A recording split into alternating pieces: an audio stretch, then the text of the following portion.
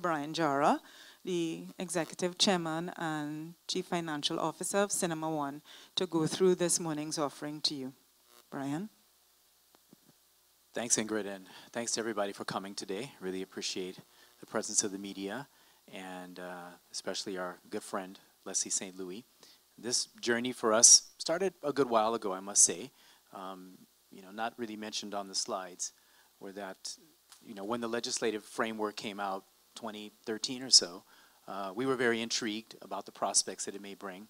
At the time, Ingrid and I were joint venture partners with Massy Holdings and Massy Communications, and we're always looking for innovative ways to be able to expand the business, to basically keep up with the deep pockets that Big Massy had for us to be able to expand our segment of the business as well. Um, moving forward to where that business evolved to where it was eventually sold, um, I decided to, after a decade, really join on a more full-time basis the Cinema One team and really reflect a little more on how this business could have the same cadence and velocity that some of the bigger conglomerates have in terms of growth. And that's when we decided to really approach First Citizens. And I must say, both Leslie, uh, Stephen Thomas, Sana Ragbeer have been extremely open-minded and willing to really take on the challenge, the, the real developmental challenge for the capital markets in Trinidad and Tobago. So thanks again for that, for the, for the FCB team. Um, our goal with the IPO is really to be able to expand this business. You can see that we have still a bit of a snag list and we're trying to finish it up. But more importantly, the big items would be Gemstone in San Fernando. We've actually started construction in the Gulf City complex there, about on the sixth floor.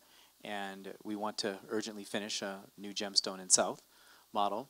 Expand to regional markets. I mean, one of the things that I think Ingrid and I have always been keen on doing is not really limiting our horizons to the TNT landscape, but also looking at other markets, um, particularly those that offer kind of hard currency earnings capacity. And fortunately, there's a relatively strong pipeline of such projects. Um, increase our market share, and you know, emerge as the first TT uh, listing on the SME market. Again, something that we've been thinking about and exploring. Uh, even the stock exchange, I must say, has been very open to overtures from us and facilitating um, our initial, initial you know, exploratory discussions.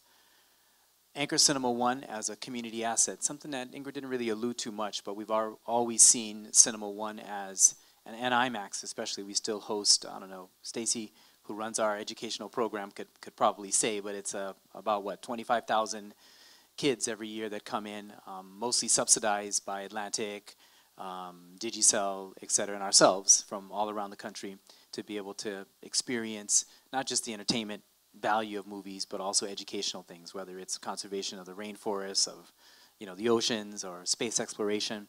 So just taking that whole community asset to another level, um, not just an educational level, but actually an ownership level, whereas Nicole rightly said, people could actually see themselves as owning a piece of, of you know, the Cinema One experience and multiplicity of experiences. We want to be able to boost revenue and, and profitability and to grow the business, as, as any business desires to do. But we certainly see in emerging markets, the slide Ingrid put up about the size of the motion picture market globally, already over 40 billion. Uh, most of the growth is happening in international markets.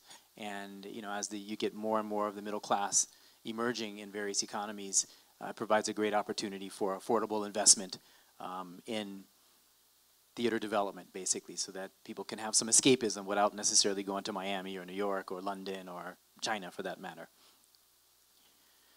So, in terms of you know why the SME exchange, I think it's something that we contemplated for a while.